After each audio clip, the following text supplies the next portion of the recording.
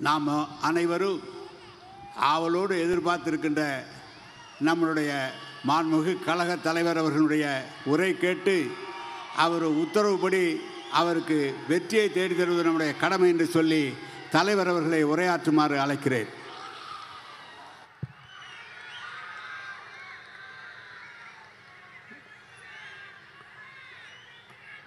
டெல்லி செங்கோட்டையை யார் கைப்பற்றணும்னு தீர்மானிக்க இந்த மலைக்கோட்டை மாநகர கடல் போல் திரண்டிருக்கும் தமிழ் சொந்தங்களே.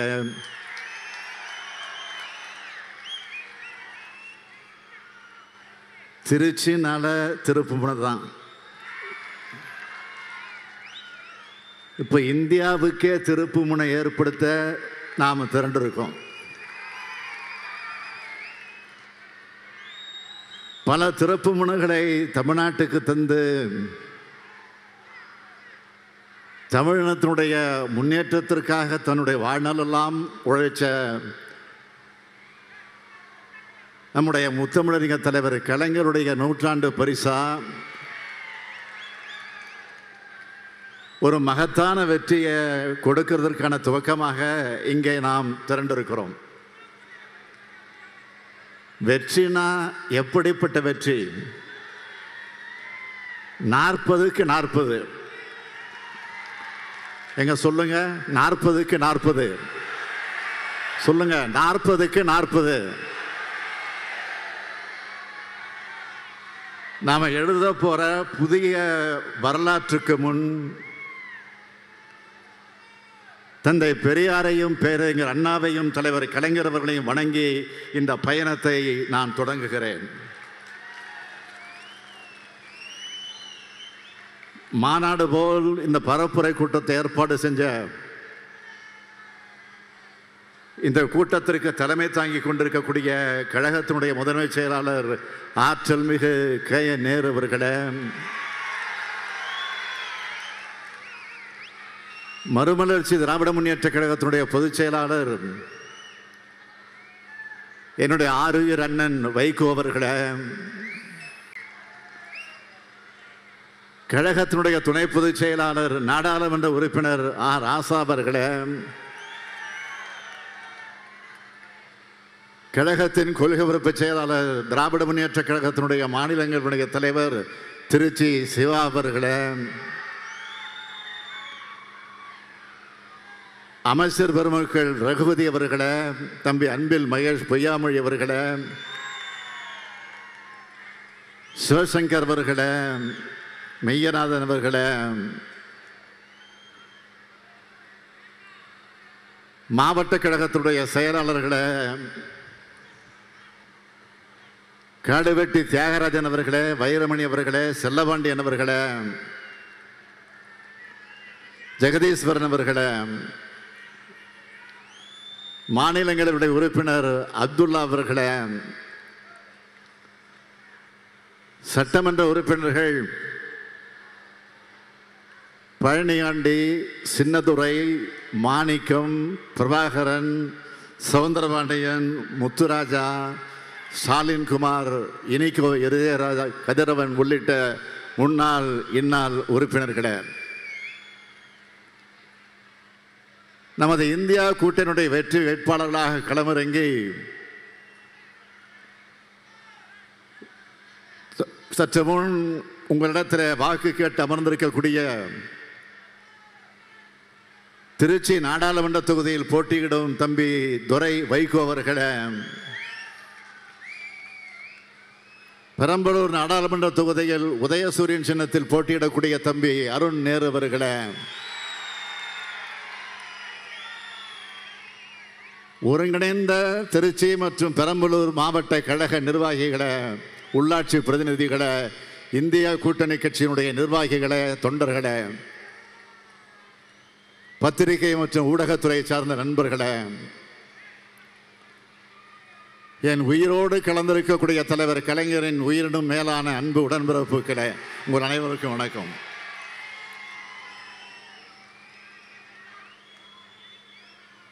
எல்லாத்துக்கும் தொடக்கமா இருக்கிறது இந்த திருச்சி தான். திராவிட முன்னேற்ற கழகம் தேர்தலில் நிற்கணும்னு ஆயிரத்தி தொள்ளாயிரத்தி ஐம்பத்தி ஆறாம் ஆண்டு முடிவெடுக்கப்பட்டது இந்த திருச்சி மாநாட்டில் தான் திருச்சி பாதை எப்போதுமே வெற்றி பாதை. அதோட அடையாளமாக தான் திராவிட முன்னேற்ற கழகத்திற்கு ஆறு முறை ஆட்சி பொறுப்பை வழங்கி இருக்கிறாங்க தமிழ்நாட்டு மக்கள்.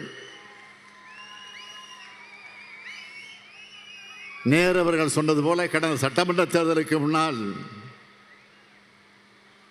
தமிழ்நாட்டின் விடியலுக்கான முழக்கம்ன்ற எழுச்சிமிகு கூட்டத்தை ஏற்பாடு செஞ்சு இங்கே அழைச்சிக்கிட்டு வந்தார் ஆறு சகோதரர் கே. நேரு அவர்கள். அதுதான் தமிழ்நாட்டில் அதிமுக ஆட்சியை வீழ்த்தி கோட்டைகளை திராவிட முன்னேற்ற கழகத்தோட ஆட்சியை அமர வச்சது.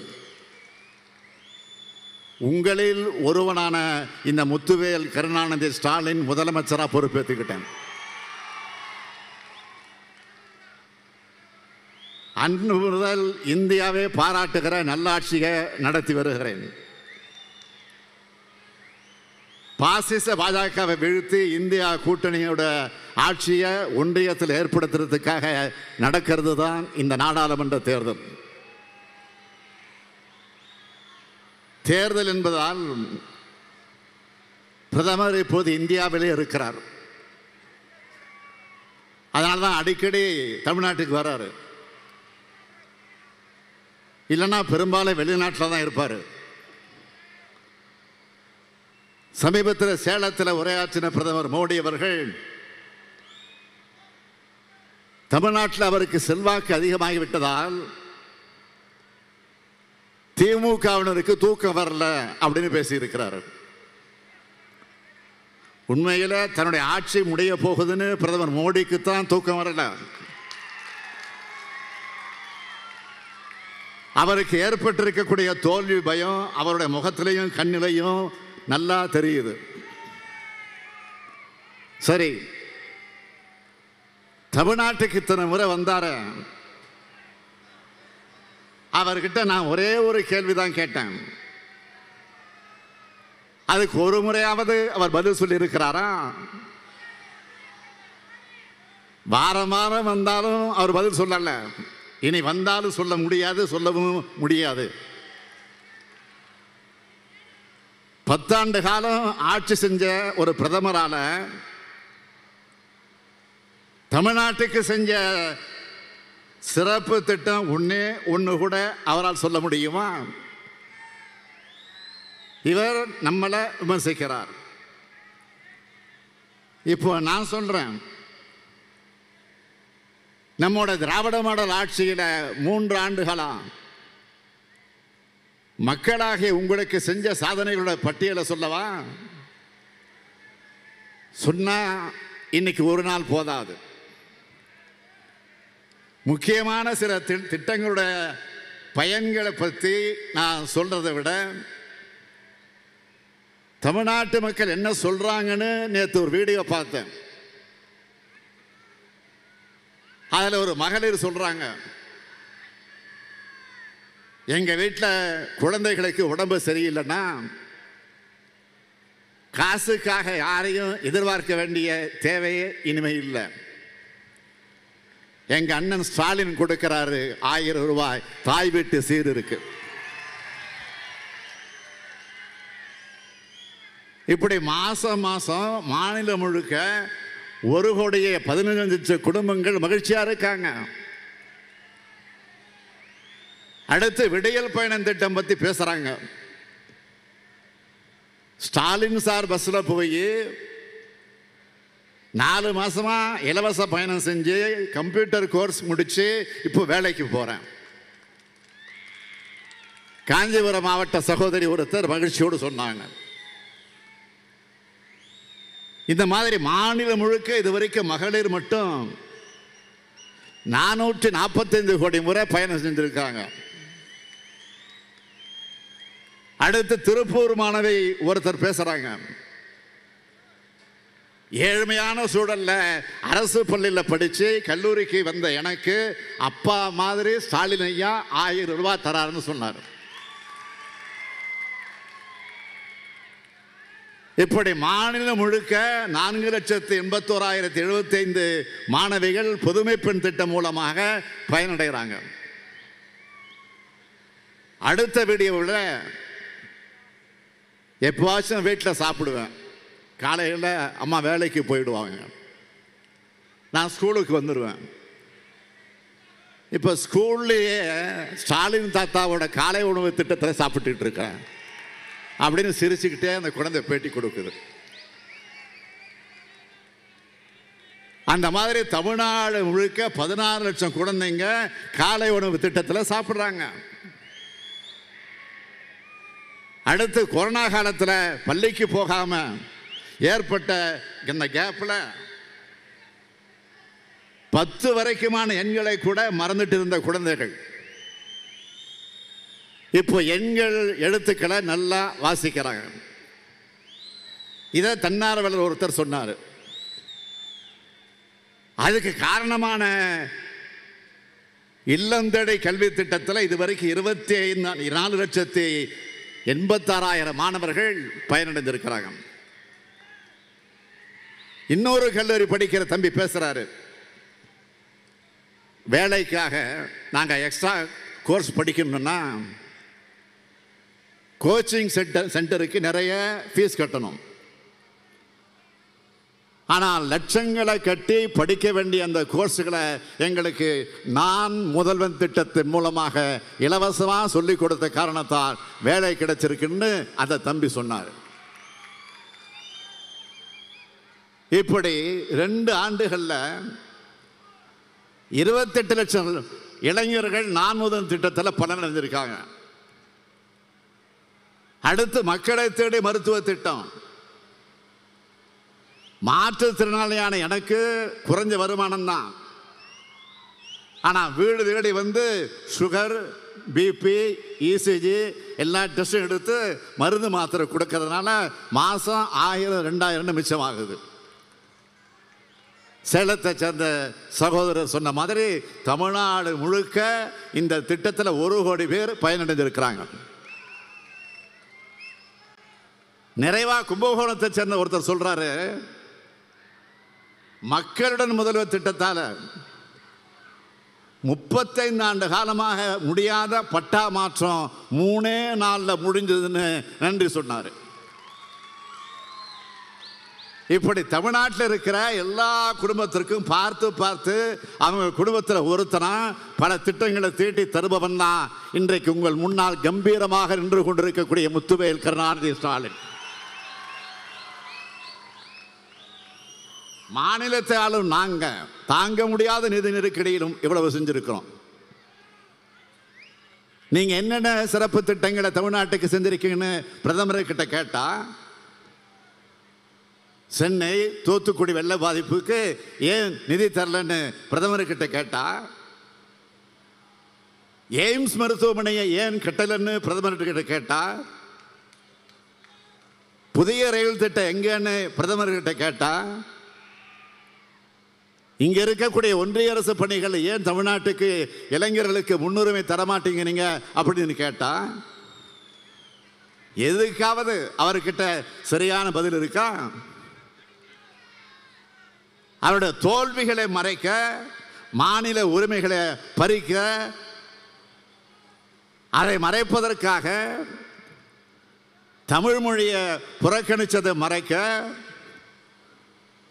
தமிழ்நாட்டு வளர்ச்சிக்கு முட்டுக்கட்டை போட்டதை மறைக்க மொத்தத்தில் உண்மையான மக்கள் பிரச்சனைகளை மறைக்க தேவையில்லாத விஷயங்களை எல்லாம் பேசி திசை திருப்புகிறாரு. தேர்தலுக்கு தேர்தல் நீங்க நடத்துகிற கபட நாடகங்கள். இனி தமிழ்நாட்டு மக்கள் மட்டுமல்ல ஒட்டுமொத்த இந்திய மக்களும் நம்ப மாட்டாங்க. உங்களை மன்னிக்கவும் மாட்டாங்க. மாநிலம் முழுவதும் பண்ண திட்டங்களை நான் பட்டியல் போட்டேன். நலத்திட்டங்கள் மட்டுமல்ல இந்த மாவட்டங்களுக்கு செஞ்ச செஞ்சுக்கிட்டு இருக்கிற வளர்ச்சி திட்டங்களையும் சொல்லவா? சிலவற்றை மட்டும் சொல்றேன். முன்னூத்தம்பது கோடி ரூபாய் மதிப்பீட்டில் திருச்சியில் ஒரு மிகப்பெரிய பேருந்து முனையம் மற்றும் கனரக வாகன சரக்கு மையம் அமைக்கும் பணி நடந்துகிட்டு இருக்கேன் நூற்றி நாற்பத்தி ரெண்டு கோடி ரூபாய் மதிப்பீட்டில் மணப்பாறையில் உணவு பூங்கா. நவல்பட்டில் தகவல் தொழில்நுட்ப மையம். பஞ்சப்பூரில் நானூற்றி பத்து கோடி ரூபாய் மதிப்பீட்டில் மினி டைடல் பார்க். நூற்றி பத்து கோடி ரூபாய் மதிப்பீட்டில் திருச்சியில் மகாத்மா காந்தி நினைவு அரசின மருத்துவமனைக்கு புதிய கட்டடங்கள் ஆகிய பணிகள் வேகமாக நடந்துகிட்டு இருக்கு. இன்னும் பல திட்டங்கள். குறிப்பாக திருச்சியில் இளைஞர்களுக்காக உலகத்தரத்தில் ஒரு ஒலிம்பிக் அகாடமி. புதுக்கோட்டைகளில் புதிய பேருந்து நிலையம். நாற்பது கோடி ரூபாய் மதிப்பீட்டில் கரூர் பேருந்து நிலைய கட்டுமான பணிகள் பட்டியல் நீளமாக இருக்கு. அடுத்து இங்கே தம்பி வேட்பாளர் துறை வைக்க சொன்னது போல நேற்று முன்தினம் வெளியிட்ட தேர்தல் அறிக்கை. அதை பற்றியும் சொல்லணும். அதுலேயும் சிலவற்றை தலைப்புச் செய்திகளாக நான் சொல்கிறேன் கடந்த பத்தாண்டுகளாக பாஜக அரசு இஷ்டத்துக்கு எத்தனை பெட்ரோல் டீசல் மற்றும் சமையல் சிலிண்டர் விலையை குறைக்கப்படும் என்று எத்தனை பேர் சொல்லி ஏமாத்தினாங்க? தமிழ்நாட்டு ஏழை எளிய மாணவர்களின் உயிரை வழிவாங்கக்கூடிய நீட் தேர்வு ஒழிக்கப்படும். மாநிலங்களோட உயிர் மூச்சா இருக்கிற நிதி உரிமைக்கு வேட்டு வைக்கும். தற்போது ஜிஎஸ்டி முறை சீர்திருத்தம் செய்யப்படும். சிறுபான்மையின மக்களுக்கு எதிரான சட்டங்கள் ரத்து செய்யப்படும். ஒரே நாடு ஒரே தேர்தல்ங்கிற பேரில் ஜனநாயகத்திற்கு ஜனநாயகத்திற்கு சவக்குழி தோண்டக்கூடிய முயற்சி நிறுத்தப்படும். உலக பொதுமுறையான திருக்குறளை தேசிய நூலாக அறிவிக்கப்படும். ஒன்றிய அரசு பணி தேர்வுகள் ஒன்றிய அலுவலகங்களில் தமிழ் மொழியில் பயின்ற நமது இளைஞர்களுக்கு இடம் உறுதி செய்யப்படும். அது மட்டுமல்ல இந்த பகுதி மக்களுக்காக பொன்மலை ரயில்வே பணிமனைய ரயில் பெட்டி தொழிற்சாலையா மாற்ற நடவடிக்கை எடுக்கப்படும். ஆத்தூர் ரயில் நிலையம் முதல் பெரம்பலூர் ரயில் நிலையம் வர புதிய அகல ரயில் பாதை அமைக்க ஆவணம் செய்யப்படும். நம்முடைய அமைச்சர் தம்பி மகேஷ் அடிக்கடி கோரிக்கை வைக்கக்கூடியது என்னன்னு கேட்டிங்கன்னா தேசிய நெடுஞ்சாலையில் பால் பண்ணை முதல் துவாக்குடி வரை உயர்மட்ட சாலை அமைக்கப்படும். அது மட்டுமல்ல தேர்தல் அறிக்கையில் சொல்லாத ஒன்றையும் இங்கே ஒரு வாக்குறுதியாக கொடுக்க விரும்புகிறேன் அந்த உயர்மட்ட சாலை அமைப்பதோடு அணுகு சாலையும் அமைக்கப்படும். இப்படி மக்களுக்கான திட்டங்களை சிந்தித்து செயல்படுத்தக்கூடிய அளவிற்கு பாடுபடக்கூடியவர்கள் தான் நாம். ஆனால் தமிழ்நாட்டில் சொல்றதுக்குன்னு எதுவுமே இல்லாத ஆட்சியை நடத்தினவர் தான் நம்முடைய பாரத பிரதமர் நரேந்திர மோடி அவர்கள். அவரால் சாதனைகளை சொல்ல முடியல. மேடைக்கு மேடை என்ன சொல்றாரு? பத்தாண்டு நான் ஊழலற்ற அரசாங்கத்தை நடத்துறேன்னு சொல்றாரு? பாஜக ஆட்சியில் நடந்த ஊழல்களை பற்றி நாம மட்டுமல்ல நாடு முழுக்க கேள்வி கேட்டாலும் அவரால் பதில் சொல்ல முடியல. இந்த பத்தாண்டு ஆட்சியில் ஊழல்கள் ஒன்றா ரெண்டா நான் எடுத்து சொல்ல. அதுக்கு இமாலய எடுத்துக்காட்டு தான் இந்திய ஜனநாயகத்துக்கு அழிக்க முடியாத அவமானத்தை ஏற்படுத்தி இருக்கக்கூடிய தேர்தல் பத்திர ஊழல். கடந்த ஐந்து ஆண்டுகளில் இடி ஐடி சிபிஐ இப்படிப்பட்ட ஒன்றிய அரசோட அமைப்புகளோட பாஜகவோட கைப்பாவையா பயன்படுத்தி அவங்கள ரைடுக்கு அனுப்புறது. அப்புறம் பாஜகவுக்கு நிதியா தேர்தல் பத்திரங்களை வாங்குறதுன்னு. எட்டாயிரம் கோடி ரூபாய்க்கு மேல் வசூல் பண்ணியிருக்காங்க. வரலாற்றிலே இப்படி வசூல் நடந்ததில்லை. அது மட்டுமல்ல சிஏஜி அறிக்கை வந்துச்சு. பாரத் மாலா திட்ட ஊழல். துவாரகா விரைவு பாதை கட்டுமான திட்ட ஊழல். சுங்கச்சாவடி கட்டண ஊழல். ஆயுஷ்மான் பாரத் திட்ட ஊழல். ஓய்வூதிய திட்ட ஊழல். எச்ஏஎல் விமான வடிவமைப்பு திட்ட ஊழல். ஏழு லட்சம் கோடி ரூபாய்க்கு முறைகேடு நடந்திருக்கிறதாக சிஏஜி அறிக்கை வெளியிட்டுச்சு. அந்த அறிக்கை மேல தக்க நடவடிக்கை எடுக்க வேண்டிய ஒன்றிய அரசு அது பற்றி வாய் திறக்கல. தேர்தல் பத்திரம் மாதிரியே இன்னொரு நிதியும் வசூல் பண்ணியிருக்காங்க. அதுவும் பிஎம் கேஷ் ஃபண்ட்ஸ் பேர்னு அதுக்கு பேர் வச்சாங்க. அப்படி ஒரு பேரை வச்சு அதை வசூல் பண்ணியிருக்காங்க. அது பற்றின அத்தனை ரகசியங்களும் ஜூன் மாதம் இந்தியா கூட்டணி ஆட்சிக்கு வந்ததும் அம்பலமாக போகிறது. அதே மாதிரி ரஃபேல் ஊழல். அதனுடைய ரகசியமும் நிச்சயமாக வெளியே வரும். இப்படிப்பட்ட ஊழல் ஆட்சியை நடத்தின பிரதமர் நரேந்திர மோடி அவர்களை ஊழலை பற்றி பேசலாமா? பாஜக ஊழல்களை மறைக்க நேற்று இரவு டெல்லி முதலமைச்சர் அரவிந்த் கெஜ்ரிவாலை கைது செஞ்சிருக்கிறாங்க. என்ன காரணம்? பாஜகவோட தோல்வி பயம் தான் ஒரே காரணம்.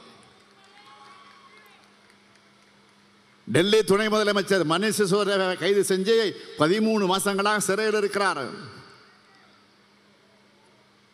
போன மாதம் ஜார்க்கண்ட் முதலமைச்சர் ஹேமந்த் சரண் அவர்கள் கைது செய்யப்பட்டு சிறையில் இருக்கிறார். இப்போ அரவிந்த் கெஜ்ரிவால் அப்பட்டமான பழிவாங்க நடவடிக்கை இல்லையா இது? தனக்கு எதிராக இந்தியான்ற வலிமையான கூட்டணியை எதிர்க்கட்சிகள் அமைச்சிட்டாங்கல்ல மக்கள் பாஜகவுக்கு எதிராக ஒன்று திரளார திர- ஆரம்பிச்சிட்டாங்களே என்கிற அந்த பயத்தில் தவறுகளுக்கு மேல் தவறுகளை செஞ்சுட்டு வருது பாஜக தலைமை தமிழ்நாட்டில் நம்ம ஆட்சிக்கு தொந்தரவு கொடுக்க ஆளுநரை வச்சு மிரட்டி பார்க்குறாங்க. ஆளுநர் இந்த நிகழ்ச்சிக்கு புறப்படுறதுக்கு முன்னாடி நம்முடைய அமைச்சர் பொன்முடிக்கு பதவி பிரமாணத்தை எடுத்து வச்சு வச்சு தான் நான் வந்திருக்கிறேன். யார்? ஆளுநர் அவராக பண்ணாரா? முடியாதுன்றார் நாங்கள் விடுவோமா? திமுக காரங்க நாங்கள்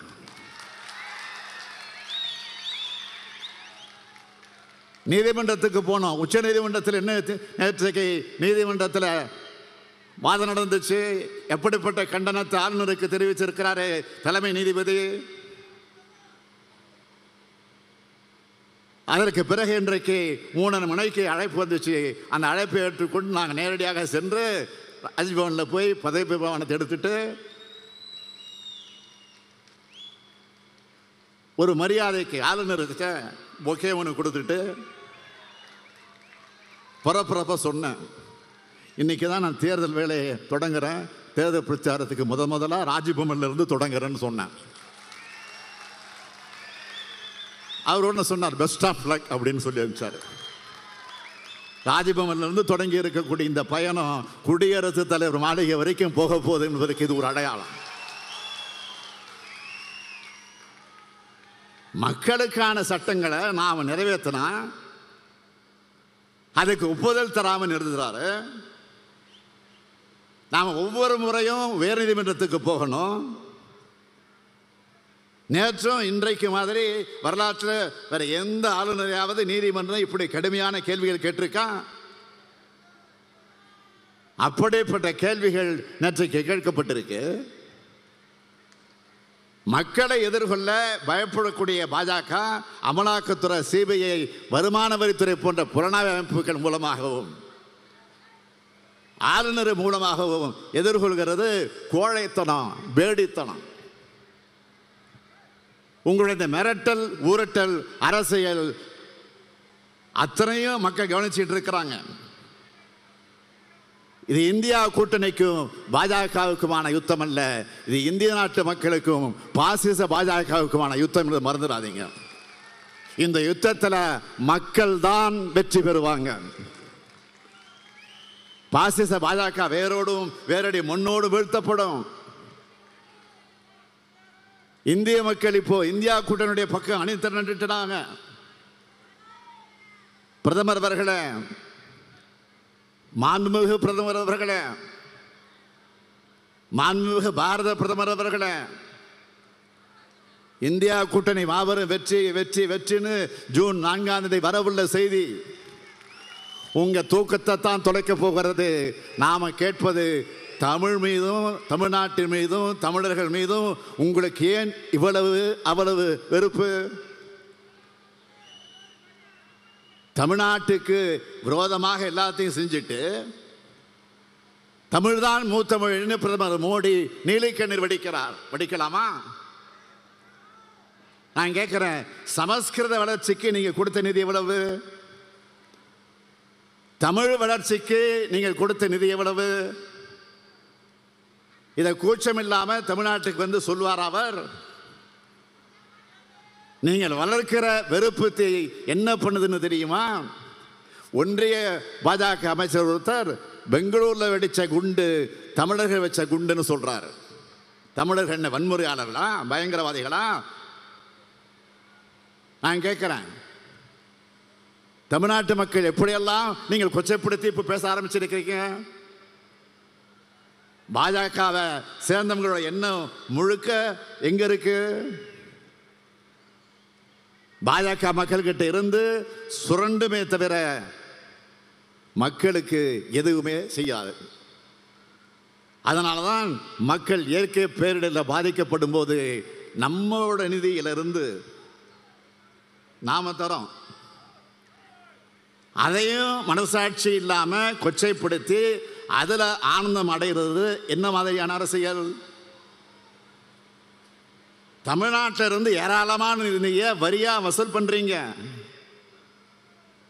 அதிலிருந்து நியாயமான பங்கு ஏன் திருப்பி தர மாட்ட மறுக்கிறீங்க?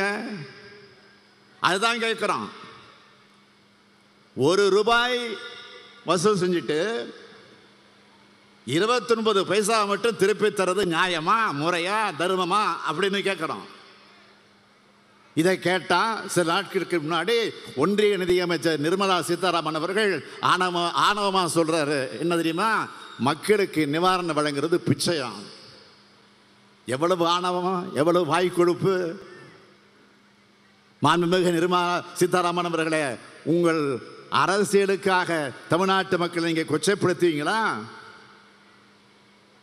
பாதிக்கப்பட்ட மக்களை அவமானப்படுத்துவீங்களா? மக்களுக்கு கொடுக்கிறது எதுவுமே பிச்சை அல்ல. அது அவங்களுடைய உரிமை. மக்கள் பாதிக்கப்படுறப்போ அவங்க உதவி செய்ய வேண்டியது அரசியல் இருக்கக்கூடிய நம்முடைய கடமை. அந்த கடமையைத்தான் திமுக அரசு சரியா செஞ்சுக்கிட்டு இருக்கு. கார்ப்பரேட் கம்பெனிகளுக்கு பல்லாயிரம் கோடி தள்ளுபடி செய்கிறீங்களே தொழிலதிபர் கூட்டத்தில் போய் இப்படி பேசுவீங்களா? ஏழைகள்னா அவ்வளவு இலக்காரமா? ஒரு ரூபாய்க்கு பொருள் வாங்கினா கூட வரி கட்டுறாங்களே மக்கள். அவங்க பாதிக்கப்படும் போது அரசாங்கம் உதவணும் தானே எதிர்பார்க்கிறது. அது தவறா? மக்களுக்கு உதவ முடியலன்னா எதுக்கு நிதியமைச்சர் பதவி? பாஜகவில் இருக்கிற ஒவ்வொருத்தருக்கும் சொல்றேன் உங்களுடைய இந்த ஆணவம் தான் பாஜகவை வீழ்த்த போகுது. இப்படிப்பட்ட எதிர்த்த சர்வாதிகார பாஜகவை தமிழ்நாட்டில் இருக்க பழனிசாமி கண்டிக்கிறாரா? நம்மளை மாதிரி விமர்சனம் செய்கிறாரா? எங்காவது கண்டிச்சு அறிக்கை விடுறாரா? குடியுரிமை திருத்த சட்டத்துக்கு ஆதரவாக வாக்களிச்சிட்டு சிறுபான்மையினர் நலன் பற்றி இப்போ பேசுகிறார் பழனிசாமி அவருடைய இரண்டகால ஆட்சியை நீங்கள் எல்லாம் மறந்துட்டு இருப்பீங்கன்னு தப்பு கணக்கு போடுறாரு பழனிசாமி தூத்துக்குடி துப்பாக்கி சூடு. கொடநாடு கொலை கொள்ளை தற்கொலை மர்ம மரணங்கள் பொள்ளாச்சி பாடைகள் வன்முறைன்னு பழனிசாமி ஆட்சியோட அவலங்கள் நீண்ட பட்டியலை போடலாம். ஊழல்கரை படிஞ்சிருக்கக்கூடிய அவருடைய கரங்கள் அவரை காப்பாற்றிக்க பாஜகவுடைய கூட்டணி வச்சுக்கிட்டு பாஜகவுக்கு பாதம் பாதம் தாங்க பாதம் தாங்கியாக இருந்து இருந்துட்டு பாஜக தமிழ்நாட்டுக்கு செஞ்ச அத்தனை துரோகங்களையும் அ- அத்தனை துரோகங்களுக்கு துணை நின்றுட்டு அதற்கு லாலி பாடியவர் பழனிசாமி இப்போ அதே பாஜகவோட கதை திரைக்கதை வசனம் டைரக்ஷன் அப்படிங்கிற பேரில் கள்ள கூட்டணி நாடகம் நடத்திக்கிட்டு இருக்காங்க. கள்ள கூட்டு கூட்டணி நாடகத்தை. பழனிசாமி நடத்தக்கூடிய நாடகம் விரைவில் முடிவுக்கு வரும். பாஜகவின் பாசிச எண்ணங்களும் முடிவு எழுதப்படும். இதெல்லாம் நடக்க நம்மோட இந்தியா கூட்டணி ஒன்றியத்தில் ஆட்சி அமைக்கணும். அப்போதான் நம்முடைய இந்திய நாட்டையும் இந்திய அரசியலமைப்பு சட்டத்தையும் நாட்டின் பன்முகத்தன்மையும் சகோதரத்துவையும் காப்பாற்ற முடியும். இந்தியாவுக்கு ஒளிமயமான எதிர்காலத்தை உருவாக்க காத்திருக்கும் இந்தியா கூட்டணி கட்சிகளுக்கு வாக்களிப்பேர்னு உங்களின் ஒருவனாக உங்களுக்காக உழைத்த தலைவர் கலைஞரின் மகனாக கேட்கிறேன். திருச்சி மற்றும் பெரம்பலூர் நாடாளுமன்ற தொகுதிகளுக்கான வேட்பாளர்களை அறிமுகம் செய்ய விரும்புகிறேன். இதோ திருச்சி நாடாளுமன்ற தொகுதியினுடைய வேட்பாளர். ஈழத் தமிழர்களுக்காக சிறைபலகண்ட திராவிட இயக்கத்தினுடைய போர்வால் என்னுடைய ஆறு இரண்ணன் வைகோ அவர்களுடைய அருமை மகன் துரை வைகோ அவர்களையும். பெரம்பலூர் நாடாளுமன்ற தொகுதியுடைய வேட்பாளராக திருச்சிய தீரர்களின் கோட்டையாக உருவாக்கின உழைப்பின் அடையாளம் என் ஆரோக்கிய சகோதரர் கே நேரு அவர்களுடைய மகன். அவருக்கு உதயசூரியன் சின்னத்தில் போட்டியிடக்கூடிய அவருக்கு அருள் நேர் அவர்களுக்கு நீங்கள் ஆதரவளித்து வெற்றி பெற செய்ய வேண்டும் என்று வேண்டுகோள் வைத்து அந்த இரண்டு இரண்டு சிங்கங்களையும் உங்களிடத்தில் நான் ஒப்படைக்கிறேன். அவங்களுக்கு பெரும்பான்மையான வாக்குகள் அளித்து உங்களுடைய குரலா உங்களுடைய பிரதிநிதிகளா இந்த ரெண்டு இளம் சிங்கங்கள் நாடாளுமன்றத்திற்கு அனுப்பி வைக்க வேண்டிய கடமை ஜனநாயக கடமை உங்களுக்கு இருக்கு. இந்தியாவை காக்கும் வெற்றி பயணத்தை திருச்சியிலிருந்து தொடங்குகிறேன் புதிய ஆட்சியை ஒன்றியத்தில் அமைப்போம் ஒளிமயமான இந்தியாவை உருவாக்குவோம். ஏப்ரல் பத்தொன்பதாம் நாள் நீங்கள் அளிக்கிற வாக்கு புதிய இந்தியாவை உருவாக்கக்கூடிய வாக்காக அமையும். திருச்சியின் வெற்றி வரலாறு துவங்கட்டும் துவங்கட்டும் துவங்கட்டும். நன்றி வணக்கம்.